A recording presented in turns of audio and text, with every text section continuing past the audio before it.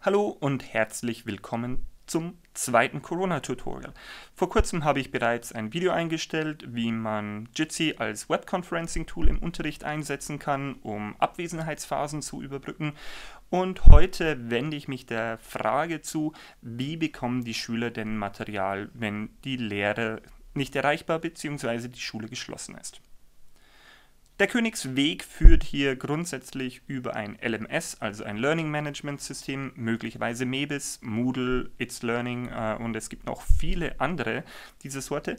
Aber nicht alle Bundesländer haben ein LMS für die Schulen angeschafft oder ähm, ja, generell wird es vielleicht an der Schule äh, im Einzelfall nicht eingesetzt. Das heißt, heute stelle ich euch eine Möglichkeit vor, wie man OneNote nutzen kann, um zumindest auf rudimentärem Weg Arbeitsaufträge an Schüler weiterzureichen. Das funktioniert ganz einfach mit Microsoft OneNote und ist möglicherweise nicht der eleganteste Weg, aber zumindest so, dass man ihn an das Kollegium weitergeben kann. Natürlich startet das Ganze mit einem Notizbuch, das ich in unserem Fall bereits angelegt habe.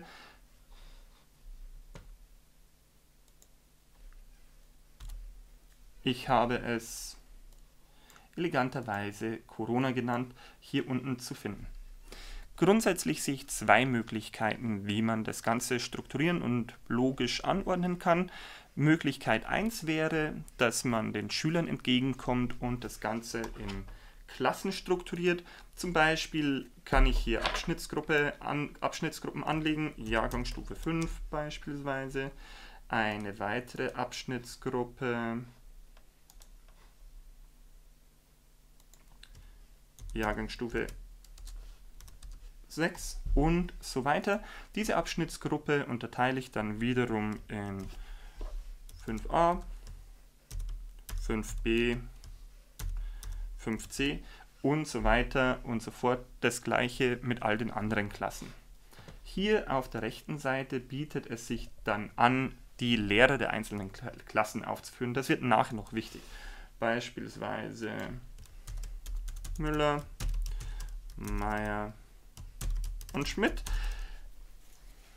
Das wären drei der möglicherweise zehn Klassenlehrer in der Klasse und damit auch ähm, die Seiten, auf denen die jeweiligen Kollegen ihre Materialien einstellen können.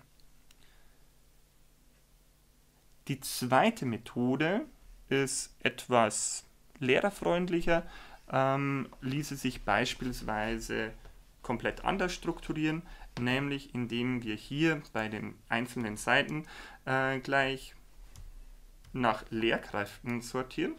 Ich lasse das Ganze mal in der gleichen Logik hier drin und äh, mache hier wieder Meier, Müller und Schmidt und habe jetzt hier unten jeweils die Lehrkräfte. Das heißt, die Schüler müssten später selbstständig auf die hier hinterlegten Materialien der Lehrkräfte zugreifen. Als Lehrkraft könnte ich jetzt hier wieder unterteilen, ähm, meinetwegen Geschichte 6, Latein 7, Geschichte 8 etc. Und damit haben die Schüler eine grundlegende Struktur. Das nur vorgreifend zur Logik. Der eigentliche Schritt kommt jetzt weiter hier oben unter Datei, nämlich die Freigabefunktionen. OneNote ermöglicht es jetzt, ein komplettes Notizbuch freizugeben. Hier lässt sich beispielsweise ähm, eingeben, Link anzeigen. Jede Person mit einem Anzeigelink kann dieses Dokument anzeigen. Das ist das, was ich jetzt mache. Habe hier einen Link hinterlegt, äh, und kann mit einem Rechtsklick diesen Link kopieren. Ich öffne jetzt kurz mal einen Browser. Das sieht dann ein bisschen kryptischer aus.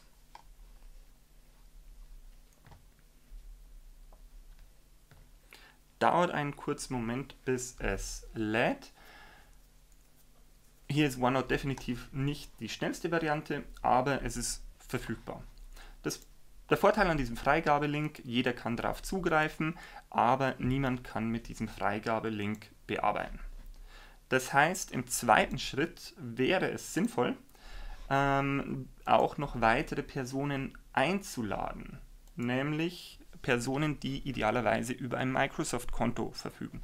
Das heißt, diese Personen können dann aktiv am Notizbuch mitbearbeiten und äh, können hier, wenn kann bearbeiten angeklickt ist, eben Materialien auf den jeweiligen Seiten einstellen.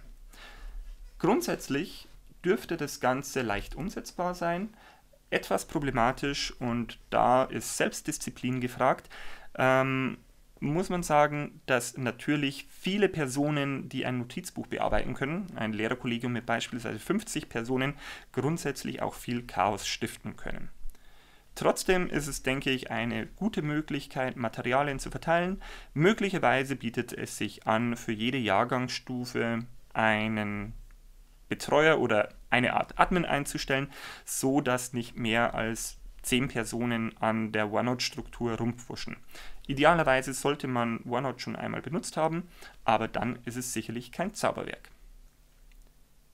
Jetzt, nachdem ihr euer Notizbuch erstellt habt, es vielleicht sogar schon mit Inhalt gefüllt habt, Materialien eingefügt habt, stellt sich natürlich noch die Frage, wie erhalten die Schülerinnen und Schüler Zugang zu diesem Notizbuch. Einfach dazu den Freigabelink, den zuvor erstellten allgemeinen Freigabelink kopieren und beispielsweise auf die Homepage der Schule setzen oder die Schüler per E-Mail informieren oder aber den Freigabelink in einen Linkshortener wie bit.ly, tinyurl oder dergleichen setzen, mit einem schlagkräftigen, äh, leicht merkbaren Titel versehen und diesen dann an die Schüler weitergeben. Ich hoffe, euch hat das Ganze geholfen. Bleibt gesund und hoffentlich geht's bald normal weiter.